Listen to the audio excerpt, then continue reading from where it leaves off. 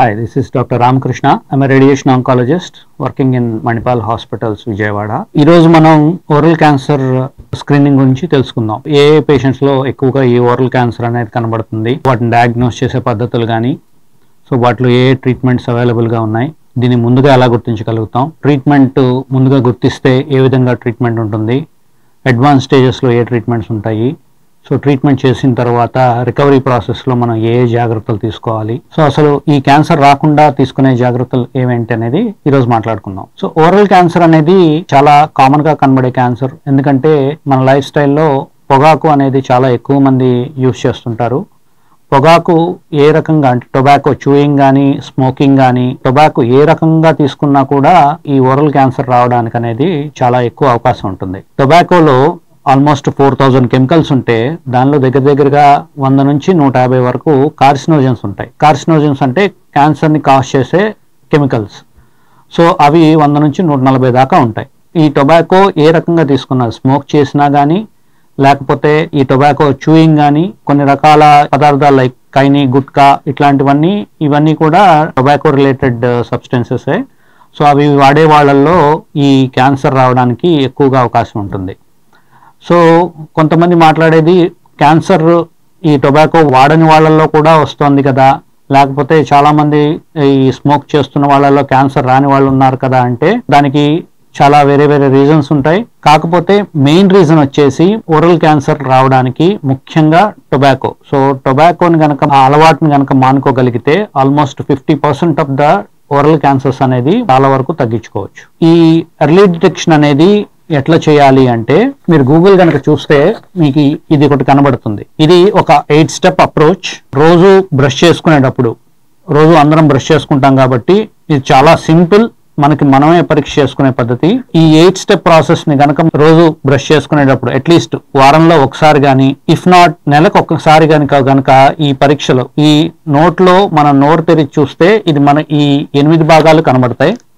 ఎనిమిది భాగాల్లో ఈ నాలుక పై భాగం నాలుక కింద భాగం కానీ అండ్ టాన్సిలార్ ఏరియా కానీ నెక్స్ట్ నాలుక కింద భాగం నాలుక పక్క భాగాల్లో కానీ నెక్స్ట్ చిగుళ్ళు దంతాలు దంతాల పైన ఉండే చిగుళ్ళు కానీ అండ్ లిప్స్ పెదాల లోపల భాగంలో కానీ అండ్ చీక్స్ ఈ బుగ్గల పక్కన ఉండే మ్యూకోజా కానీ అండ్ కింద కింద పెదవి కింద ఆ మ్యూకోజా కానీ ఈ ఎనిమిది భాగాలు గనక మనం నెలకు ఒకసారి గనక పరీక్ష చేసుకున్నా కూడా ఈ క్యాన్సర్ అనేది చాలా ఎర్లీ స్టేజెస్లో మనం డయాగ్నోస్ చేయడానికి అవకాశం ఉంటుంది. మీరు గూగుల్లో చూస్తే ఇంకా బెటర్ పిక్చర్ కన కనబడుతుంది.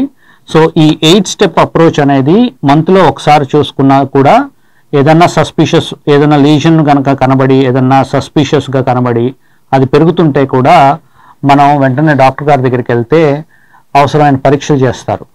సో ఏమేమి పరీక్షలు చేసుకోవాలి అంటే ముందు క్లినికల్ ఎగ్జామినేషన్ మీ అంతటి మీరు పరీక్ష చేసుకున్నప్పుడు కనుక ఏదన్నా మీకు సస్పిషియస్గా అది తగ్గకుండా ఒక వారం రోజులైనా కూడా లేకపోతే నెల రోజులైనా తగ్గకుండా నెల రోజులు అనేది కొంచెం ఎక్కువ పీరియడ్ ఒకవేళ ఏదన్నా మీరు నోటీస్ చేసిన తర్వాత మళ్ళీ వెంటనే ఒక వారం రోజుల్లో పరీక్ష చేసుకొని ఆ వారం రోజుల్లో కనుక అది ఏమైనా పెరుగుతున్నా లేకపోతే తగ్గకపోయినా కూడా వెంటనే డాక్టర్ గారి దగ్గరికి వెళ్ళాల్సి ఉంటుంది. సో డాక్టర్ గారి దగ్గరికి వెళ్ళినప్పుడు క్లినికల్ ఎగ్జామినేషన్ అనేది ఇన్ డీటెయిల్డ్గా ఒకసారి చేస్తారు. అవసరాన్ని బట్టి ఒక బయాప్సీ చేస్తారు. అక్కడ నుంచి ఒక చిన్న ముక్క తీసి పరీక్షకు పంపిస్తారు. దాన్ని బయాప్సీ చేస్తారు. అందులో ఏమన్నా సస్పిషియస్గా ఏమన్నా కనబడుతున్నా లేకపోతే క్యాన్సర్ సిమ్టమ్స్ ఏమన్నా ఉన్నా క్యాన్సర్ లక్షణాలు ఉన్న ఆ ముఖ పరీక్షలో బయాప్సీలో దానికి ఫర్దర్గా మనం స్టేజింగ్ వర్కప్ అనేది చేసుకుంటాం. సో సెల్ఫ్ ఎగ్జామినేషన్ అనేది ఈ ఇప్పుడు నేను చూపించిన ఈ సెల్ఫ్ ఎగ్జామినేషన్ ద్వారా మనం చాలా వరకు ఈ ఓరల్ క్యాన్సర్ని స్టార్టింగ్ స్టేజ్లోనే మనం డయాగ్నోస్ చేసుకోవచ్చు. క్యాన్సర్ కనబడకుండా రావడానికి అవకాశం ఉంటుందా అంటే oral cancer most of the పేషెంట్స్లో అంటే almost eighty percent of the పేషెంట్స్లో నోటీసబుల్గానే వస్తుంది. అంటే మొదలవ్వడం అనేది ఏదో చిన్న ఒక రెడ్ ప్యాచ్ లాగా కానీ లేకపోతే ఒక వైట్ ప్యాచ్ లాగా కానీ వాటిని ల్యూకోప్లేకియా ఎరిథ్రోప్లేకియా అంటాం. అవి క్యాన్సర్కి ముందు దశ. వాటిని కనుక మనం అలా వదిలేస్తే అది ఖచ్చితంగా క్యాన్సర్ కింద కన్వర్ట్ అయ్యే అవకాశం ఉంటుంది. అట్లా కాకుండా చాలామంది పేషెంట్స్లో ఒక చిన్న అల్సర్లా ఫామ్ అవుతుంది. కొంతమంది పేషెంట్స్లో పళ్ళు కొంచెం కోసుగా ఉన్నా కూడా అవి నాలుగుకి రాపిడి వల్ల కూడా చిన్న చిన్న అల్సర్స్ ఫామ్ అయ్యి అవి కూడా పెరిగి పెద్దవవుతుంటాయి. ఇప్పటికీ చాలామంది ఏంటంటే ఒక చిన్న అల్సర్ కనుక ఫామ్ అయితే మెడికల్ షాప్కి వెళ్ళి మందులు తెచ్చుకొని అది పెరిగి పెద్దదయ్యి చివరికి అది ఆల్మోస్ట్ నాలుగు కానీ ఇదంతా స్ప్రెడ్ అయిన తర్వాత లేకపోతే ఈ మెడలో చిన్న చిన్న గడ్డలు వచ్చిన తర్వాత కానీ హాస్పిటల్స్కి రారు. అది చాలా తప్పు పద్ధతి. ఇంత చిన్న పరీక్షలు అందుబాటులో మనకి మనమే చేసుకోగలిగినప్పుడు ప్రతి మంత్ ప్రతి రోజు మనం కనుక పరీక్ష చేసుకుంటే లేదు అట్లీస్ట్ వారానికి ఒకసారి కనుక పరీక్ష చేసుకొని ఏదైనా సస్పిషియస్ లీషన్ ఉన్నప్పుడు డాక్టర్ గారి దగ్గరికి వెళ్తే చాలా ఎర్లీ స్టేజెస్లోనే ఈ క్యాన్సర్ని గుర్తించవచ్చు ఓరల్ క్యాన్సర్కి వచ్చేసేటప్పటికి ముఖ్యంగా మిగతా వాటన్నిటికన్నా కూడా ఈ నాలుక క్యాన్సర్ అనేది చాలా ప్రమాదకరం. ఎందుకంటే నాలుకకి బ్లడ్ సప్లై అనేది చాలా ఎక్కువగా ఉంటుంది. లింఫాటిక్ సప్లై అనేది కూడా చాలా ఎక్కువగా ఉంటుంది. సో మిగతా లిప్ క్యాన్సర్ కానీ లేకపోతే చీక్ క్యాన్సర్ కానీ వీటన్నిటికన్నా కూడా నాలుక మీద వచ్చిన క్యాన్సర్కి ఇంకా ఎక్కువ జాగ్రత్త వహించాల్సి ఉంటుంది. ట్రీట్మెంట్ పార్ట్గా కావచ్చు లేకపోతే తర్వాత రికవరీ ప్రాసెస్లో కావచ్చు ఫాలో ప్రాసెస్లో కావచ్చు నాలుక క్యాన్సర్ అనేది ఇంకా కొంచెం అగ్రెసివ్గా ఉంటుంది మిగతా నాట్ క్యాన్సర్ల కన్నా కూడా. సిమ్టమ్స్ ఎలా ఉంటాయంటే ఇందాక నేను చెప్పినట్లు ఒక చిన్న అల్సర్ కావచ్చు లేకపోతే దాని మీద గడ్డ కానీ లేకపోతే చిన్న ప్యాచుల్లా కానీ ఇట్లాంటివి ఏవైనా కూడా లేకపోతే కొన్నిసార్లు ఈ మెడలో చిన్న చిన్న గడ్డలు వస్తాయి వాటిని లింఫ్ నోట్స్ అంటారు. సో అట్లా కూడా ప్రజెంట్ అయ్యే అవకాశం ఉంటుంది.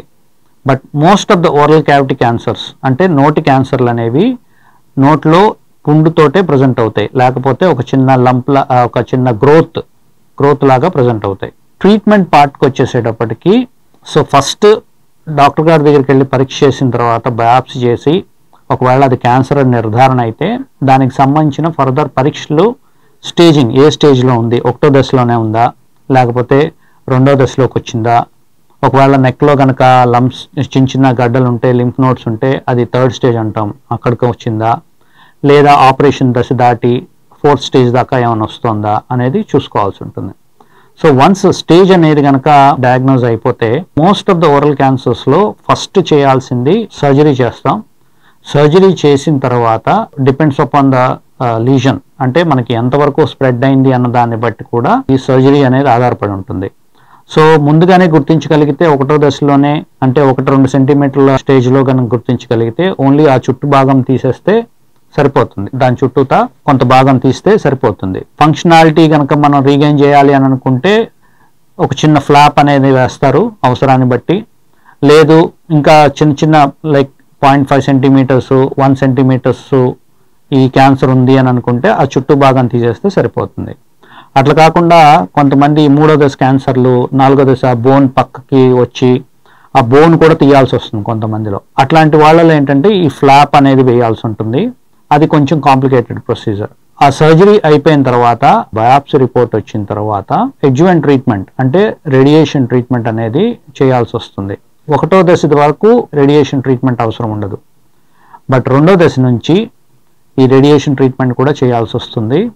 అండ్ వన్స్ అది మూడో దశకి రీచ్ అయితే మటుకు దెన్ అప్పుడు మనం కీమోథెరపీ కూడా యాడ్ చేసుకోవాల్సి వస్తుంది. ఆ రేడియేషన్ ట్రీట్మెంటు కీమోథెరపీ ట్రీట్మెంటు ఇవన్నీ ఏంటంటే పేషెంట్కి ఫర్దర్గా ట్రీట్మెంట్ కాంప్లికేషన్స్ ఇవన్నీ ఉంటాయి. సో అందుకనే ఇందాక నేను చెప్పినట్లుగా ఈ eight step process oral cancer screening ఇది ఎవరంతటి వాళ్ళు కనుక చేసుకుంటే ఫస్ట్ స్టేజ్లోనే కనుక డయాగ్నోజ్ అయితే సర్జరీ తోటే పేషెంట్స్లో క్యాన్సర్ని కంట్రోల్ చేయొచ్చు. అట్లా కాకుండా అది రెండో దశ మూడో దశకి కనుక రీచ్ అయ్యి అప్పుడు కనుక మనం సర్జరీ చేసి ఆ తర్వాత మళ్ళీ రేడియేషను ప్లస్ కీమోథెరపీ కూడా యాడ్ చేయాల్సి వస్తే మటుకు ఒకటి పేషెంట్ క్వాలిటీ ఆఫ్ లైఫ్ కొంత కాంప్రమైజ్ అవ్వచ్చు. రెండోది ఖర్చు పెరుగుతుంది. మూడోది క్యాన్సర్ దశ పెరిగే కొద్దీ అది మళ్ళీ తిరగబెట్టే అవకాశాలు కూడా ఎక్కువగా ఉంటాయి. సో రికవరీ ప్రాసెస్కి వచ్చేసేటప్పటికి ట్రీట్మెంట్ అంతా అయిపోయిన తర్వాత మెయిన్గా follow up period follow up పీరియడ్లో మనం చెప్పేది ఏంటంటే సర్జరీ అయిపోయిన వెంటనే సర్జరీ చేసిన డాక్టర్ గారు ఈ స్వాలోయింగ్ థెరపీస్ చెప్తారు. ఎందుకంటే సపోజ్ నాలుక మీద క్యాన్సర్ వచ్చింది నాలుక కొంత భాగం తీసేయాల్సి వచ్చింది అనుకోండి నాలుక మాట్లాడడానికి ఉపయోగపడుతుంది. మనం తినే ఆహారాన్ని శుభ్రంగా నోట్లో కలపడానికి ఆ తర్వాత తిన్న ఆహారాన్ని లోపలికి నెట్టడానికి వీటన్నిటికీ నాలుకే ముఖ్యం. సో అట్లాంటి నాలుక కొంత భాగాన్ని తీసేస్తే మనం ఎంత ఫ్లాప్ తీసుకొచ్చి ఇంకో బాడీలో ఇంకొక చిన్న కండం తీసుకొచ్చి నాలుక భాగంలో పెట్టినా కూడా అంత ఫ్రీగా మూమెంట్ అనేది ఉండదు. దానివల్ల ఒకటి మాట రాదు. రెండోది ఈ మింగే ప్రాసెస్ అనేది కూడా కొంత రెస్ట్రిక్ట్ అవుతుంది. అందువల్ల సర్జరీ అయిన తర్వాత మీకు స్వాలోయింగ్ థెరపీస్ ఉంటాయి స్పీచ్ థెరపీస్ ఉంటాయి. ఓకే? అంటే ఎట్లా మింగాలి? మాట ఎట్లా ఇంతకు మునుపట్లాగా మాట ఎట్లా తెచ్చుకోవాలి అనేది ఆ థెరపీస్ ఉంటాయి. అవి చేసుకోవాల్సి వస్తుంది. అండ్ రేడియేషన్ చేసే క్రమంలో ఏంటంటే రేడియేషన్ డాక్టర్ గారు మీకు తీసుకోవాల్సిన నోటి జాగ్రత్తలు అండ్ ట్రీట్మెంట్ జరిగేటప్పుడు కావాల్సిన సపోర్టివ్ ట్రీట్మెంట్ కానీ ఇవన్నీ చెప్తారు. సో కీమోథెరపీ ఇచ్చేటప్పుడు దానికి సంబంధించిన జాగ్రత్తలు మనం తీసుకోవాల్సిన ఫుడ్ హ్యాబిట్స్ కానీ ఏమేమి ఫుడ్ తీసుకోవాలి ఎక్సర్సైజ్లు ఏమేం చేయాలి అనేది మీకు క్లియర్గా ఉంటుంది. అది చెప్తారు. సో దాన్ని బట్టి ఆ ట్రీట్మెంట్ అనేది కంప్లీట్ చేసుకోవాల్సి వస్తుంది. సో నెక్స్ట్ ఆ ఫాలో పీరియడ్ అనేది ఎవ్రీ టూ మంత్స్కి ఒకసారి ఫస్ట్ టూ ఇయర్స్ డాక్టర్ గారు చెప్పినట్టు హాస్పిటల్కి వచ్చి చూపించుకోవాలి. సో రెండేళ్ళు దాటిన తర్వాత ప్రతి నాలుగు నెలలకు ఒకసారి చూపించుకోవడం నాలుగేళ్ళు దాటిన తర్వాత ప్రతి ఆరు నెలలకు ఒకసారి అట్లా ఐదు సంవత్సరాల వరకు ఖచ్చితంగా ఆ ఫాలో పీరియడ్ అనేది కంప్లీట్ చేయాల్సి ఉంటుంది. అండ్ ఎవ్రీ ఇయర్ ఒకసారి ఇమేజింగ్ అంటే సిటీ స్కాన్ కానీ అవసరాన్ని బట్టి పెట్ స్కాన్ కానీ చేయించుకోవాల్సి వస్తుంది. ఈ ప్రాసెస్ అంతా ఓరల్ క్యాన్సరు కొంచెం లేట్ స్టేజెస్లోకి వచ్చిన వాళ్ళు అంటే మూడు నాలుగు దశల్లోకి వచ్చిన వాళ్ళు ఇదంతా ప్రాసెస్ ఫాలో అవ్వాల్సి ఉంటుంది. కాకపోతే చాలా చిన్న పరీక్షతోటి మనం ఇంట్లో మనంతట మనమే చేసుకోగలిగిన టెస్ట్ అందుబాటులో ఉంది. దాన్ని బట్టి ఎవరికి వాళ్ళే చేసుకోవచ్చు. ఏదైనా సస్పిషియస్ లీషన్ ఉన్నప్పుడు ఏంటంటే మనం వెంటనే డాక్టర్ గారి దగ్గరికి వెళ్తే చాలా చిన్న చిన్న ప్రొసీజర్స్ తోటే మనం ఈ ఓరల్ క్యాన్సర్ని కంట్రోల్ చేయొచ్చు.